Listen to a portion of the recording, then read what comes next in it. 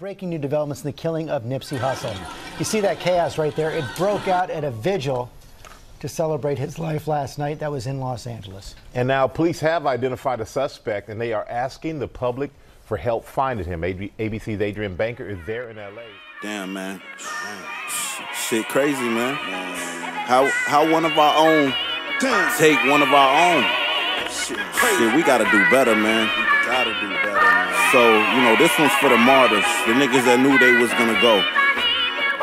Check this out. How many brothers have we lost to the cross? Y'all don't truly understand the sacrifice that it takes to be boss. Know the cost, keep the change, won't even want it back. Matter of fact, tell the truth, we ain't even wanted that. Maybe we just wanted weed, but you a liar if you think me and my communities ever really wanted crack. Y'all some quacks or some teachers for the facts that they feed us. Got a massive attack from our head to our feet, it's still undefeated yet. My conf can't believe it, y'all just mad, y'all can't beat us no more. Pro war, wonder what we go for, still poor. What you think they running in the boutique shops and stores to steal for? Can't forget Dr. Sebi did more than heal sores. It's the spirit of a man that he had a feel for. I'm just trying to wake you up in tune to feel for. Much more than being top 10 on the billboards. And when I think how you gone by our own, it just gets me. How they tear down the ones that uplift me. Lighters in the air if you ready to get busy. RP Sebi, rest in power Nipsey. Nipsey. Man, this shit, this shit hit home, man. Real talk.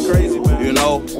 And it's it's it's, it's kind of crazy because they say like the biggest threat to the United States, to the world, was a few black leaders. They did anything they could to stop the rise of a black Jesus. I testify y'all extort and cheat us, gentrify, shoot us down and beat us. I've been cooking, I'm just starting to bubble. Another civil rights activist and victim of the struggle.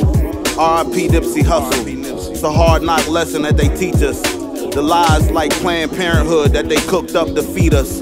While literally, ritually, and habitually plotting, planning, and implementing genocide on our black fetus. All at the same time looking out to knock off the young black Jesus. Ready, aim, fire at anybody that tries to attempt to take us higher. Different campaigns, similar agenda. Do you remember? Marcus, Kennedy, Martin, Malcolm. Different campaigns, same outcome. How come? Hussle, whose real name is Ermias Asghedom, grew up in the neighborhood where he was murdered. With admitted ties to gangs, he became a music phenom, entrepreneur, and community advocate. The goal is to create a bridge between the inner cities and Silicon Valley. On Monday, a meeting with the LAPD that Hussle requested to try and stop gang violence went on in his absence. He was so loyal to the community, but was the community genuinely loyal to him?